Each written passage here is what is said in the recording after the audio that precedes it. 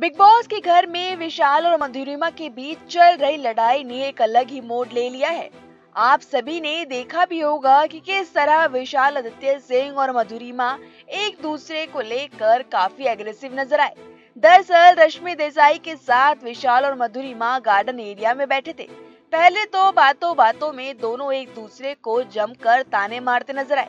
इसके बाद बात इतनी बढ़ गई कि विशाल पर अपना गुस्सा दिखाते हुए मधुरिमा उनको चप्पल उतार कर मारना शुरू कर देती हैं।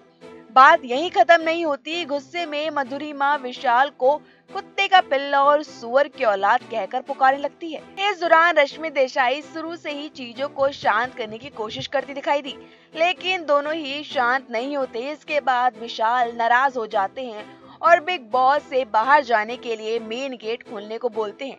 इन सब चीज़ों से घर का माहौल तो खराब होता ही है, लेकिन घर के बाहर भी फैंस में गुस्सा नज़र आ रहा है। तो चलिए आपको बताते हैं कि फैंस ने क्या क्या कहा। तो देखिए कुछ ये तस्वीरें।